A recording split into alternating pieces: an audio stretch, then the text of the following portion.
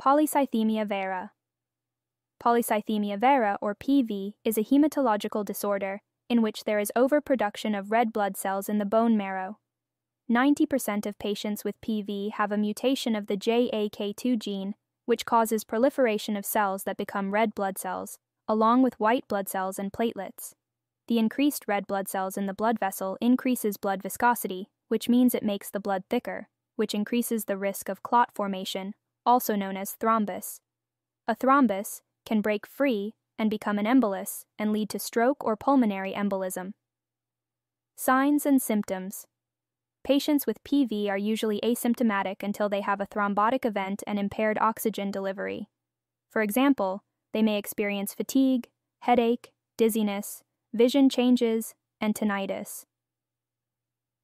Splenomegaly or enlarged spleen is a common symptom of PV because the spleen filters and stores red blood cells, and the increased red blood cells are making the spleen work harder and become enlarged. This causes early satiety or feeling of fullness. PV also triggers an immune response and causes the body to release histamine. The excessive histamine causes pruritus or itchiness in patients with PV, especially during or after a hot shower.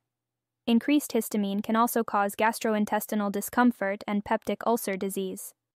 Treatment There is no cure for PV, and treatment is aimed at symptom relief and reducing the risk of disease complications such as thrombosis. An antineoplastic agent called hydroxyurea is the first line treatment for PV in which it reduces blood cell production. It is an oral medication that is taken twice a day. Side effects include oral ulcers, GI upset, numbness or tingling in hands and feet, and pulmonary toxicity.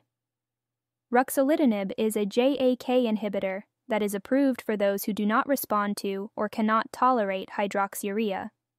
Low dose aspirin are taken once or twice daily to reduce risk of clot formation. Phlebotomy can be done as a therapeutic treatment by removing blood to reduce viscosity.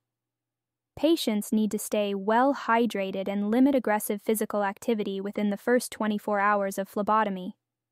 Patient education includes monitoring and reporting signs and symptoms of thrombus, such as redness, tenderness, or swelling in one leg that could indicate DVT, difficulty breathing that could indicate pulmonary embolism, and any of the BFAST neurosymptoms that could indicate stroke. Elevating legs when sitting and wearing compression stockings are helpful in promoting venous blood flow and preventing blood clots. Encourage fluid intake to reduce viscosity of the blood.